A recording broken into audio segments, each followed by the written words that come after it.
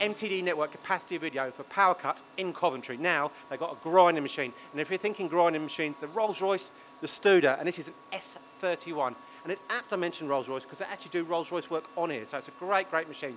And when I say great, great machine, repeatable, accurate to two microns, easy to program, and self-contained. So you pop your part in there, and it's great for doing production runs. So here you've got your disc, which will do your profiles, Second disc will do your faces, and then round about you can't see, you actually do your internal grinding. So it's a great, great machine. And I don't know if I've already mentioned accuracy, two microns, and that's repeatable, so they can leave this running all day, long batch runs, a fantastic machine. Quick examples. So you've got your face, your profile there, your grinding. You've got your eccentric grinding, so there, very quickly, see that. And then, great example of your internal diameter grinding, that component there, so anything like that PowerKut's Coventry on a Studer S31.